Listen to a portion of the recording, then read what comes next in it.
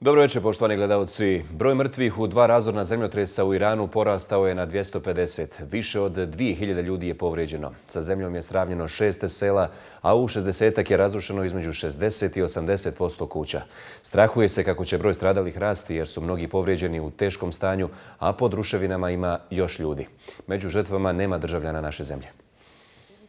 Nakon dva jaka zemljotresa od 6,2 i 6 stepeni po Richterovoj skali, koja su pogodila okolinu Tabriza na sjeverozapadu Irana, tokom noći je registrovano više od 55 naknadnih potresa koji su uznemirili preživjele stanovnike i iscrpljene spasioce.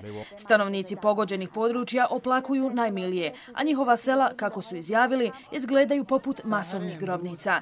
Najteže su pogođena sela u kojima kuće nisu dovoljno kvalitetno izgrađene. Crveni polumjesec je na stadionu napravio prihvatilište za 16.000 osoba koje su ostale bez kuća ili se plaše da se vrate u domove.